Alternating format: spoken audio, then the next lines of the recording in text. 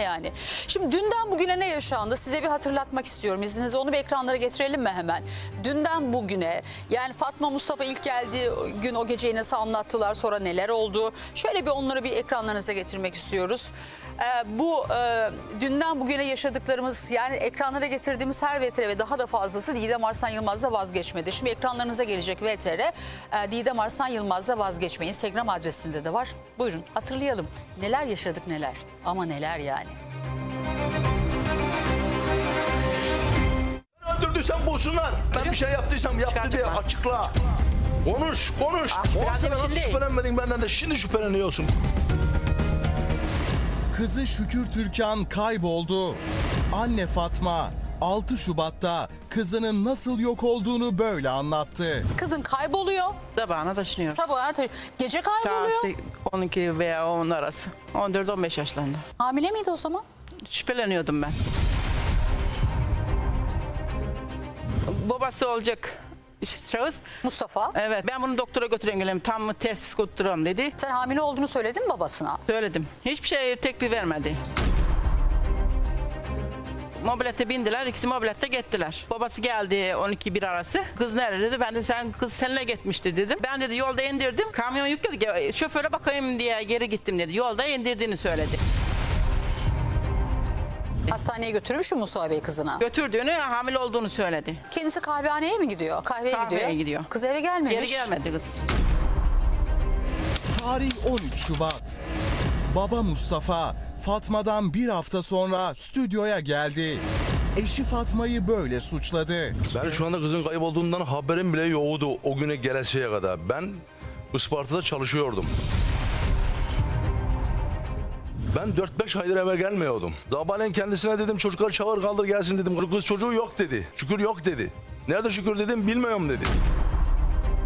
Gereken her şeyleri burada açıklayacaksın. Tamam açıklayayım. Bak- Sen, sen açıkla. Ben ben buraya açıklamaya Ben geldim. hiçbir şey bilmiyorum. Ben buraya Sen kendimi açıkla. En aklamaya son geldim. Senin sensin. pisliklerini çıkarmaya geldim. Valla yeter benim artık. hiçbir pisliğim yok. Sen kadar Yeter, yok. yeter, yeter. Biliyor mu nerede olduğunu? Biliyor efendim kendisi. Biliyor İşte yani. yüz yüze karşı karşıyayız. O zaman burada de ki eşim öldürdü, gömdü, ben göz yumdum de. Hadi de bakalım hadi bir. Sen Bir. götürdün. Öldürdüğünü bilemem. Öldürdüm, gömdüm, attım bir Tamam ya. işte aynısını yaptın. Yani Bak, suçu benim üstüme iftira atmak için oynuyor. atma. İftira atma. Benim üstüme atmak için oynadığı için kesin yapmış olabilir. O zaman ben öldürdüysem o zaman sen de bana yardım yataklık yaptın o zaman. Kesilmiş koyun gibi yani hiç şeysiz gitti. Ben nereye gidiyorum demedi. Kurbanlı koyun gibiydi diyorsun. Aynen. Yaptıysa benimle işbirliği yaptıysa açıklasın. Senin çocuğunu arıyoruz. Arama o zaman. Çocuğunu Arama. arıyoruz. Niye aramıyoruz ya? Arama o zaman. Ne, ne demek Arama. arama? Neden korkuyorsun? Suçluyumdan korkuyor. Eşimle beraber öldürdük diyecek bak. Ha, öyle bak, mi diyecek? Elinde gücü de diyecek. Ben burada herkesin varsa söylüyorum. Elinde gücünde eşimle beraber öldürdük kızı diyecek.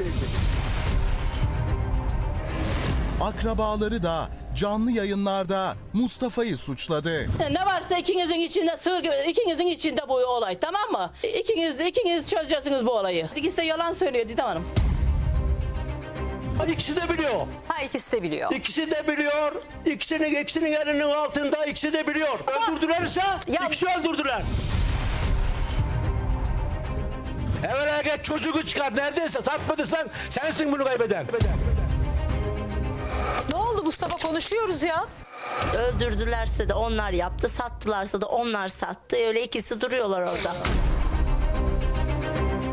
Yani hızlarıyla söylediler ya. E nasıl bir anne, anne babasınız? Amca nereye kaçıyorsun? Kaçma. Amca kaçmayaydın. İyiydik. Amca çocuğun nerede olduğunu söyle de öyle git. Bak be bir daha uğraştırma bizi. Hayır, Beni ben burada de bahane vereceğim. edeceksiniz. Bence küfürle Fatma'nın- küfürle sinirlendiğinde kaçıp Başka- gideceksiniz. Sen de kaç. Sonuna kadar buradayım dedi. Ama Mustafa İstanbul'u terk etti. Çıksın. Seni tutuklayıp ben buradayım işte. götürecekler oraya. Çıksın. Dersen sıkıntı yok. Ben buradayım. Bir yere gittiğimiz yok valla.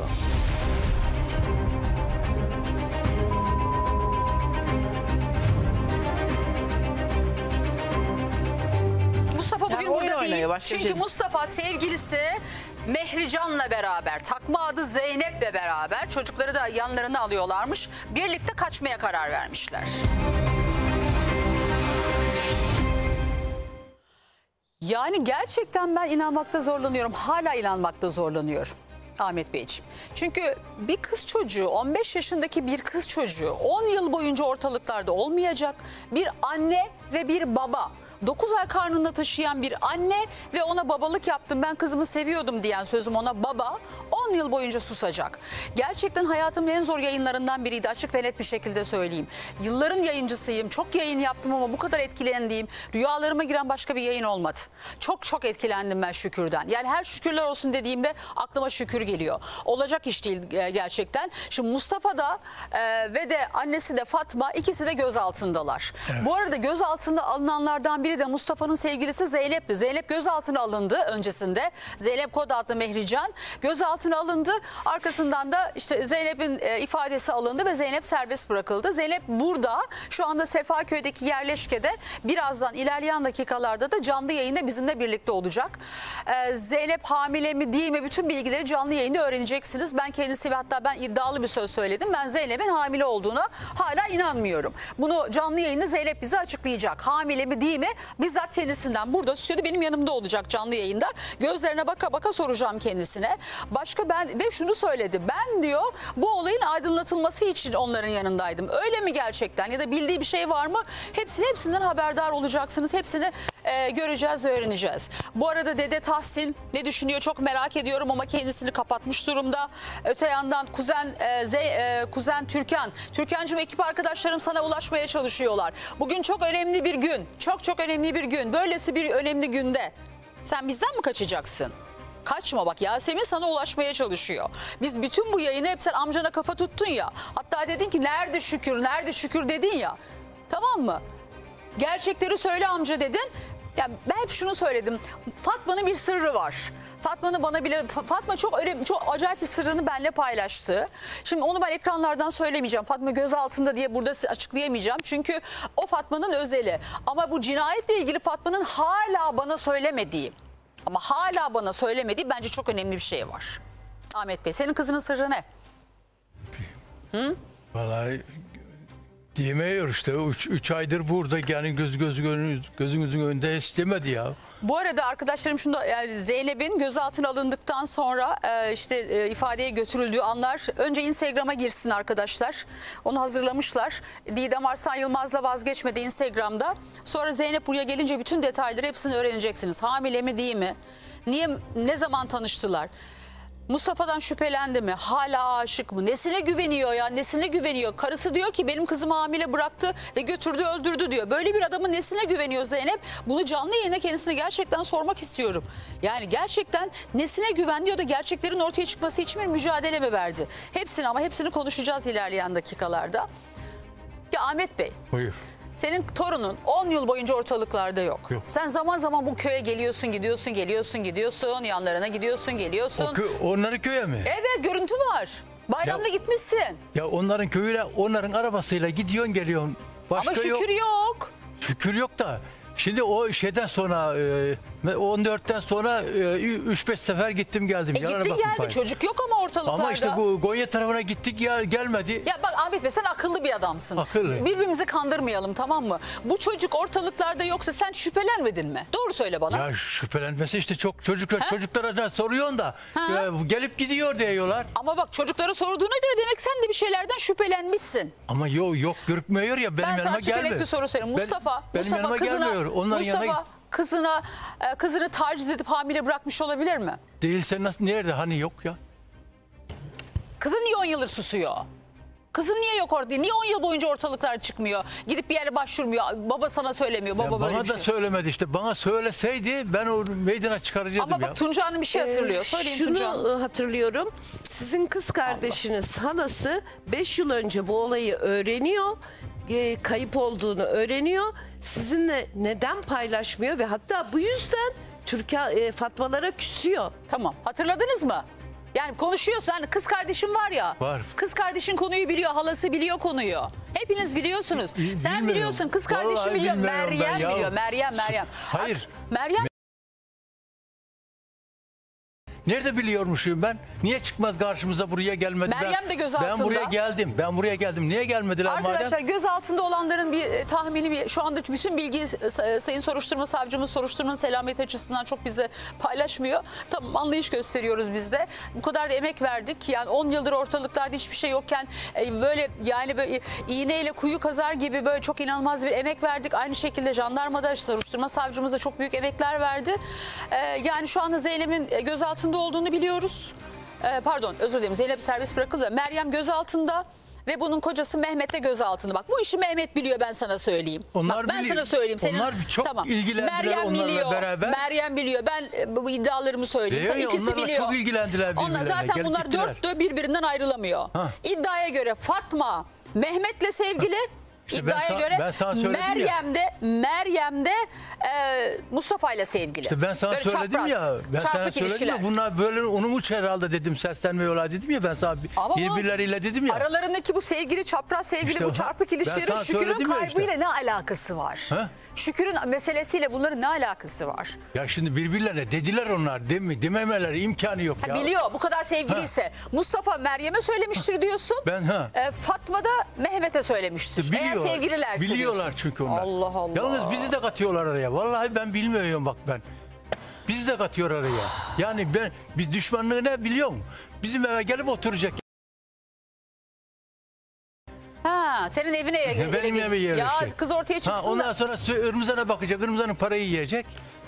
Onlar o yüzden seni ortaya katmak istiyorlar. beni ortaya işte beni oraya kaçacak ya. Şimdi Mustafa buraya geldiğinde çok böyle aşırı neşeli tavırlar çizdi. Çok neşeli Çok, Mustafa. çok. Hiçbir şey umurunda değil. Çocuğu gitmiş umurunda değil. Hiçbir şey umurunda hiç değil. umurunda değil. Bir oynuyor bir ağlıyor. Önce e, ki yani şeyden Çarık Saraylar'da köyde yayından bağlandığında sürekli böyle ağlayan böyle zavallı içine kapanık bir çoban vardı. Fakat buraya gel- geldiğinde Mustafa'da inanılmaz bir özgüven patladı. Patlaması yaşandı. Bu Zeynep'ten mi kaynaklandı? İşte bunu Zeynep'e soracağım da. Birazdan Zeynep bizimle birlikte olacak. Ayağının tozuyla geldi. Gözaltına alındıktan sonra ifadesi alındı. Ee, serbest bırakıldı. O görüntüler zaten Didem Arslan Yılmaz'la vazgeçmedi. Mustafa önce nasıl ağladı sonra nasıl oynadı? Ağlamaktan oynamaya nasıl geldi? Buyurun lütfen. Allah rızası için. Gel gel gel. Bak bak. Bak bak. Tarih 9 Şubat. Mustafa ilk röportajında kızı için böyle ağladı. Kızım Allah rızası için çık gel. Bu annen bize bizim etimizi acıttı. Hoşça kal demedim hiçbir zaman kimseye Ayrılık dedin gidip kalsın mahşere Tarih 17 Nisan. Aradan sadece 2 ay geçti. Benim yiğitler oynuyor. Mustafa gözyaşı döktüğü o evde sevgilisi ve oğluyla böyle oynadı. Vay vay vay vay vay. Hadi bakalım. Benim yiğitler oynuyor.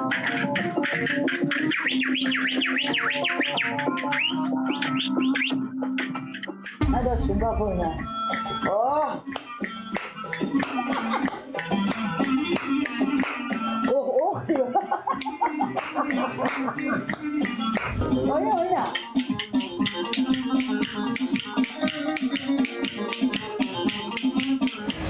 Yetmedi. Mustafa stüdyoda da oynamayı sürdürdü. Bak bak. Bak bak. İstediğin kadar yap. Oynayın bak. bak, bak. Şu anda da herhalde jandarmanın karşısında oynuyor mu çok merak ediyorum. Yapıyor mu böyle böyle bu şekilde? Zor. Herhalde sorulara yanıt veriyordur değil mi? Zor zor. Ha? Zor. Bu kadar oynuyor mu Sayın? Savcımızın karşısında? Zor zor. Mahkeme başka hakimimizin kalbi oynayacak mı O yani? Zor geçti o. Yani gerçekten ya. Gerçekten insanın evladı gitmiş. Yani Mustafa'nın bu özgüven patlaması ne? O zaman ya kızın yeri nerede olduğunu biliyor. Ya her anlamda. Dirisini de ölüsünü de biliyor o zaman. Ya bu kadar özgüvenle oynuyor demektir. Başka hiçbir açıklaması yok. Kesin kesin Yani o kimsenin- kayıp ettiğini biliyor. Evet, kimsenin biliyor. ona ulaşamayacağını düşünüyor Değilse yani. öyle oynar mı? Bu ne oynamak ya? Ne oynadı ama yani? Ne oynadı? Geldiğinden beri ne oynadı bildiğiniz gibi değil yani. Böyle bir şey olabilir mi ya?